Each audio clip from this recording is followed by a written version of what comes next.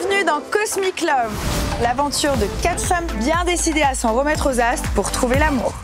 Je vous présente l'Astro Chamber. Mon but est de trouver le partenaire idéal à nos célibataires grâce à leur thème astral. J'imagine que vous avez hâte de découvrir des fameux Cosmic Lovers. C'est quoi comme signe astrologique À ton avis Lion Ouais. Je comprends pas comment ça peut être ma connexion.